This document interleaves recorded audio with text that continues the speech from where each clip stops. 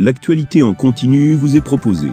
Et bien ravi de vous retrouver chers auditeurs, sur votre nouvelle chaîne YouTube, 237 ActuNet. L'information de qualité sur cette chaîne est assurée par nos experts politologues et analystes politiques.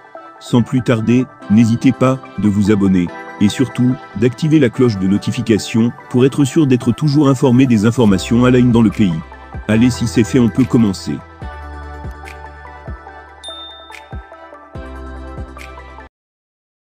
Victime de dénigrement parce que longtemps célibataire, Charlotte Dipanda s'est toujours retenue de réagir. Elle répond enfin à la critique ce 30 avril. Charlotte Dipanda, comme Connie Touré, a été très longtemps victime de cyberharcèlement. Loin de s'arrêter à de vives critiques, certains internautes se sont permis de lancer de graves rumeurs sur sa vie privée et son orientation sexuelle. L'artiste camerounaise a, pendant toutes ces années, ignoré royalement la critique se concentrant sur son art. Et c'est à travers ce même art que l'artiste décide de revenir sur cet épisode douloureux de sa vie. Source Afro Impact. https www.afroimpact.com on s'en fout Charlotte Dipanda répond enfin à la critique.